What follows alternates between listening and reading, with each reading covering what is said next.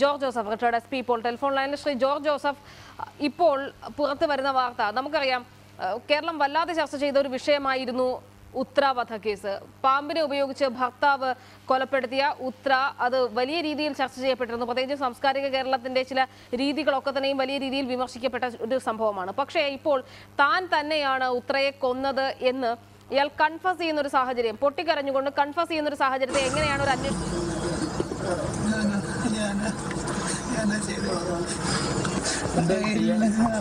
അങ്ങനെ ചെയ്തു. എനിക്ക് ചെയ്തു. എന്താണ് നിങ്ങൾ തരണത് അങ്ങനൊന്നുമില്ല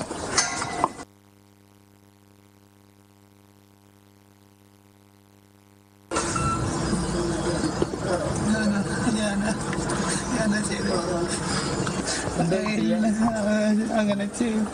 എനിക്ക് ചെയ്തു. എന്താണ് അങ്ങനെ ചെയ്തു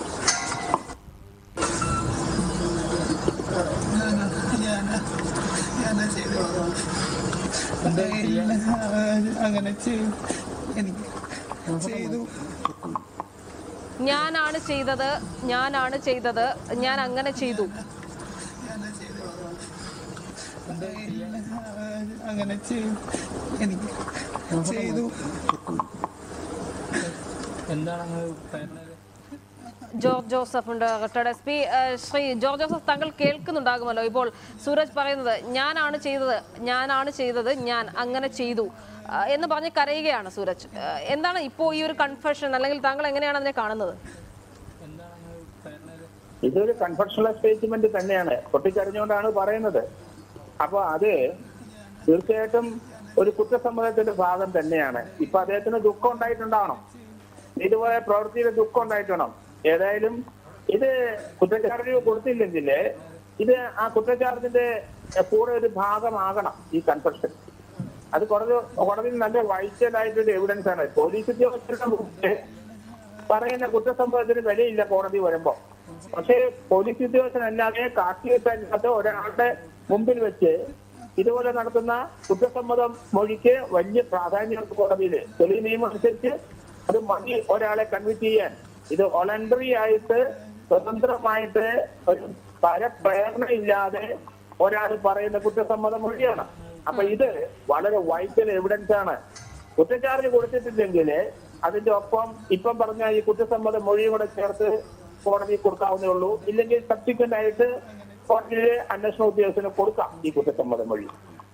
അതായത് ഈ കൺഫെഷൻ ഇനി വരാൻ പോകുന്ന കേസിന്റെ പ്രോസിക്യൂഷൻ വേളയിലൊക്കെ തന്നെയും വലിയ രീതിയിൽ അന്വേഷണ ഉദ്യോഗസ്ഥരെ സഹായിക്കുന്ന ഒന്നായിരിക്കും ഒന്നായിരിക്കുമെന്നാണോ താങ്കൾ പറയുന്നത്? അത് തന്നെ. അത് പ്രോസിക്യൂഷന് വളരെയധികം സഹായിക്കുന്ന ഒരു എവിഡൻസ് ആണ് ഇപ്പോഴത്തെ കുറ്റസമ്മതം മൊഴി അത് കുറ്റച്ചാർജിന്റെ ഓപ്ഷൻ ചേർത്ത് കൊടുക്കുന്നതാണ് നല്ലത്. ഇത് തോന്നണേ ഉത്തരയുടെ കുറ്റച്ചാർജ് കൊടുത്തിട്ടുണ്ടാവണം. അല്ലെങ്കിൽ അതിന്റെ പ്രിപ്പറേഷനിലാണെങ്കിൽ ഈ ഭാഗങ്ങളുടെ ഈ കുറ്റസമ്മത മൊഴി പത്രക്കാരെ നാട്ടുകാരുടെ മുമ്പിൽ വെച്ച് ഓപ്പൺ ആയിട്ട് പറഞ്ഞ ഈ മൊഴി രേഖപ്പെടുത്തി അതുകൂടെ അതിന്റെ സി ഡിയും കൂടെ ചേർത്ത് കോടതിയിൽ ഹാജരാക്കണമെന്നാണ് ഞാൻ പറയുന്നത്. എന്തുകൊണ്ടായിരിക്കാം ശ്രീ ജോർജ് ജോസഫ് ഇത്തരത്തിൽ ഇപ്പോൾ ഒരു ഈ ഇങ്ങനെ കൺഫെഷൻ നടത്താനുള്ള ഒരു കാര്യം ഒരു കുറ്റസമ്മതം നടത്താനുള്ള കാരണം എന്തായിരിക്കാം? കാരണം ഇതിനോടകം പല പ്രാവശ്യം തെളിവെടുപ്പിനായി എത്തിച്ചിട്ടുണ്ട്. കുടുംബത്തെ ഉൾപ്പെടെ പോലീസ് ചോദ്യം ചെയ്യാനായി വിളിപ്പിക്കുന്ന ഒരു സാഹചര്യം ഉണ്ടായിരുന്നു. പക്ഷേ ഈ സമയത്ത് ഇത്തരത്തിലൊരു ഒരു ഒരു കുറ്റസമ്മതത്തിന്റെ കാരണം എന്തായിരിക്കാം? അല്ല അതിനകത്ത് പല ഉദ്ദേശം കാണും. ദുഃഖം. ഇപ്പൊ ആ ആ ആ ഒരു കൊലപാതകം ചെയ്തതിലും പ്രത്യേകമായ ഒരു രീതി സ്വീകരിച്ചതിലൊക്കെ ഒരു മനസ്താപം സ്വാഭാവികമായിട്ട് ഉണ്ടാകാം. ഒന്ന്. രണ്ടാമത് ഇങ്ങനെ പറഞ്ഞാലേ മറ്റാരുമല്ല ഇതിന്റെ അകത്ത് കുറ്റക്കാര്. ഞാൻ മാത്രമേ ഉള്ളൂ. വീട്ടുകാരെ രക്ഷപ്പെടുത്താനുള്ള തന്ത്രമാകാം. അതും ആകാം. എന്തായാലും അത് പ്രതിയുടെ ചിന്താഗതിയാണ്. അത് കോടതിയിലെ ആ കുറ്റസമ്മത മൊഴി അത് രേഖപ്പെടുത്തി കൊടുക്കുന്നതാണ് നല്ലത്. വീട്ടുകാർക്ക് അതിനകത്ത് ചില ഭാഗങ്ങളും പാർട്ടുകളും ഉണ്ടെന്ന് നേരത്തെ പോലീസ് കണ്ടെത്തിയിട്ടുണ്ട്. അവർ അവരുടെ ഭാഗങ്ങൾ ചുമന്നോട്ടെ. ഇയാൾ ചെയ്ത കുറ്റത്തിന് ഇയാളും കുറ്റ അതിന്റെ അതിന് ശിക്ഷ അനുഭവിക്കട്ടെ. എന്നാലും നമുക്ക് ഇത് ട്രയൽ സ്റ്റേജിൽ ഇത് ഈ ഒരു പീസ് ഓഫ് എവിഡൻസ് കൊണ്ടുവരേണ്ടത് തന്നെയാണ്. ഓക്കെ ശരി. ശരി ശരി ശ്രീ ജോർജ് ജോസഫ് പ്രതികരിച്ചതിന് എനിക്ക് പ്രവീണിലേക്ക് പോകേണ്ടതുണ്ട്. പ്രവീൺ ഞാനാണ് അത് ചെയ്തത്. ഞാനാണ് ചെയ്തത്. ഞാൻ ചെയ്തു. ഇത്തരത്തിലാണ് പറയുന്നത്. ഇത്ര ഉണ്ടായിരുന്നുള്ളൂ സ്റ്റേറ്റ്മെന്റ് ഇത്രയാണോ പറഞ്ഞത്? ചെയ്യാൻ അങ്ങനെ ചെയ്തു. എനിക്ക് ചെയ്തു. പറയുന്നത് ആദ്യമായിട്ടാണ് മാധ്യമങ്ങൾക്ക് മുന്നിൽ സൂരജ് പറയുന്നത് നേരത്തെയും നിരവധി തവണ തെളിവെടുപ്പിന്റെ ഭാഗമായിട്ട് അന്വേഷണ സംഘം സൂരജിനെ ഈ പറക്കോട്ടെ വീട്ടിൽ എത്തിച്ചിരുന്നു. പക്ഷേ ആ സമയം ഒന്നും ഇത്തരത്തിലുള്ള ഒരു പ്രതികരണത്തിലേക്ക് സൂരജ് ഒരിക്കലും പോയിരുന്നില്ല. ഏതായാലും ഈ ഒരു ഘട്ടത്തിൽ താൻ തന്നെയാണ് ഇത്തരത്തിലുള്ള പാമ്പിനെ കൊണ്ട് തന്റെ ഭാര്യയെ ഇത്തരത്തിൽ അപായപ്പെടുത്തിയത് അല്ലെങ്കിൽ മരണത്തിലേക്ക് വിട്ടത് എന്ന രീതിയിലുള്ള ഒരു പ്രതികരണം തന്നെയാണ് സൂരജിന്റെ ഭാഗത്തു നിന്നും ഉണ്ടായിരിക്കുന്നത്. നേരത്തെ തെളിവെടുപ്പിനെ കൊണ്ടുവരുന്ന ആ ഘട്ടത്തിലൊക്കെ ഇതിനു മുമ്പ് അഭിഭാഷകരുടെ സഹായം സൂരജ് തേടിയിരുന്നു. പ്രത്യേകിച്ചും ഇത്തരത്തിൽ അറസ്റ്റിന് മുമ്പുള്ള ഘട്ടങ്ങളിൽ ആ സമയത്തെല്ലാം ഈ കേസിൽ നിന്ന് രക്ഷപ്പെടുന്നതിനുള്ള മാർഗങ്ങളാണ് സൂരജ് ഉറപ്പായും നോക്കിയിരുന്നത്. അഡ്വക്കേറ്റിന്റെ നിയമോപദേശ പ്രകാരം തന്നെയായിരുന്നു അദ്ദേഹം കാര്യങ്ങൾ നീക്കിയിരുന്നത്. പക്ഷേ ഇപ്പോൾ ഈ ഒരു ഘട്ടത്തിൽ പൂർണമായും താൻ കുറ്റം സമ്മതിച്ചു എന്ന രീതിയിലുള്ള ഒരു പ്രതികരണമാണ് മാധ്യമങ്ങളുടെ മുന്നിലേക്ക് എത്തിയിരിക്കുന്നത്. പ്രധാനമായും ഈ പാമ്പുകളെ ഈ വീട്ടിൽ എത്തിച്ചത് സംബന്ധിച്ചാണ് ഈ സൂരജിൽ നിന്നും അല്ലെങ്കിൽ ഇത്തരത്തിൽ ഇന്ന് തെളിവെടുപ്പിന്റെ ഭാഗമായിട്ടുള്ള കൂടുതൽ വിശദാംശങ്ങളിലേക്ക് അന്വേഷണ ഉദ്യോഗസ്ഥർ പോയത്. പ്രത്യേകിച്ചും സൂരജിന്റെ അമ്മയും സഹോദരിയും തങ്ങൾക്ക് ഈ കൃത്യത്തിൽ പങ്കില്ല എന്ന രീതിയിലുള്ള ഒരു സ്റ്റേറ്റ്മെന്റ് കഴിഞ്ഞ ദിവസം ചോദ്യം ചെയ്യാൻ വിളിച്ചപ്പോഴും ആവർത്തിച്ച് വ്യക്തമാക്കിയിരുന്നു.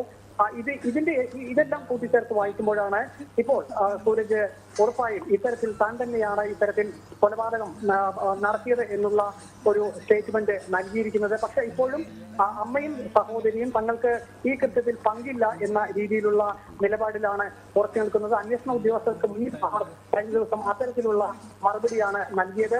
അതുമായി ഇടപെടുന്ന കാര്യങ്ങൾ അല്ലെങ്കിൽ പാമ്പിനെ എത്തിച്ച കാര്യങ്ങൾ അറിവുണ്ട് എന്ന് അവർ പറയുമ്പോൾ തന്നെ ഇത്തരത്തിൽ പാമ്പിനെ കൊണ്ട് കൊത്തിപ്പിക്കുന്ന അല്ലെങ്കിൽ ഇത്തരത്തിൽ ഭാര്യയെ കൊല്ലാൻ ഇത്തരത്തിലുള്ള ശ്രമം നടത്തിയ ആ ഒരു വിഷയത്തിൽ തങ്ങൾക്ക് അറിവില്ല എന്ന് തന്നെയാണ് അമ്മയും സഹോദരിയും ഈ ഒരു ഘട്ടത്തിലും പറയുന്നത്. ഏതായാലും ഇപ്പോൾ പ്രധാന പ്രതി തന്നെ ഇപ്പോൾ മാധ്യമങ്ങൾക്ക് മുന്നിൽ ഇത്തരത്തിലുള്ള അല്ലെങ്കിൽ താൻ താൻ തന്നെയാണ് ഇത്തരത്തിൽ ഈ കൃത്യം നടത്തിയത് എന്ന രീതിയിലുള്ള ഒരു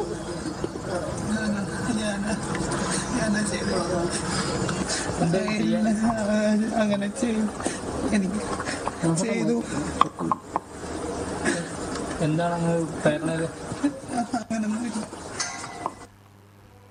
ഞാനാണ് ചെയ്തത്. ഞാനാണ് ചെയ്തത്. ഞാൻ അങ്ങനെ ചെയ്തു. ചെയ്തു. അങ്ങനെ ചെയ്തു. എനിക്ക് ചെയ്തു. എന്താണ് അങ്ങനെ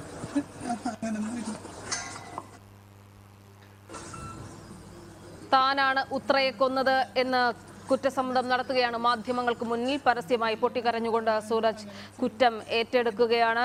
വിവരങ്ങളുമായി പ്രവീൺ ഉണ്ട് പ്രവീൺ മാധ്യമങ്ങൾ ഈ സമയത്ത് ചോദിക്കുന്നു എന്തിനാണ് അങ്ങനെ ചെയ്തത് എന്ന് ചോദിച്ചപ്പോൾ അങ്ങനെ ചെയ്തു.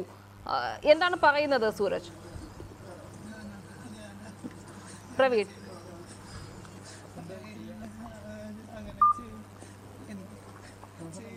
പ്രവീൺ കേൾക്കാമോ? സൂരജിന്റെ വാക്കുകളാണ് ഇപ്പോൾ പ്രേക്ഷകർ കേൾക്കുന്നത്.